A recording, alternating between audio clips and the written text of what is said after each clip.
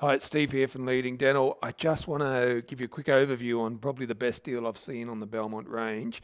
Now, this here is the entry-level Belmont chair coming in at just over 37. If we have a look over here, we've got the Belmont Eurus S8, which is the new top-of-the-line flagship. Now, this thing has absolutely everything. It's built like a rocket ship.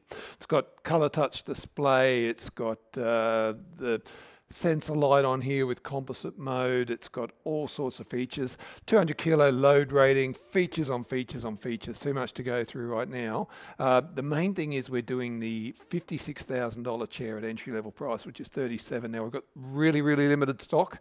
Uh, we've got one more left of this model here, which is the VacPack model.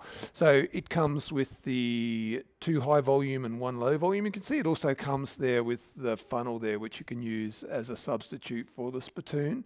Um, so that's a, a, really nice little model. They've got things like uh, telescopic arms and that sort of thing that come up and hold position. 200 kilo load rating, just features and features again, as I say.